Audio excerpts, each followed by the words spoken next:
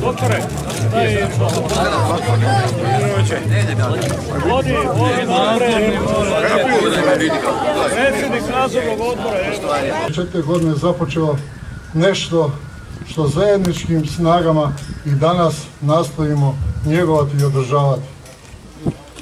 Te godine je jedan domoljub, branitelj, poduzetnik, entuzijast preuzeo predsjedničku ulogu na ovome mjestu i vodio ovaj klub u kojem je proveo svoje zadnje trenutke života.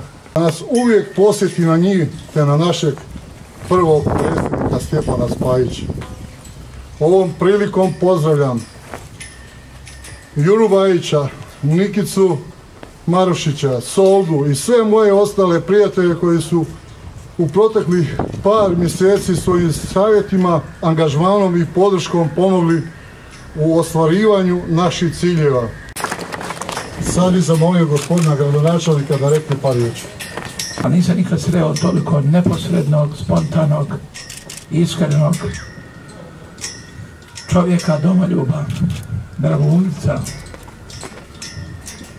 i prije svega oca koji je širio toliko toplinom.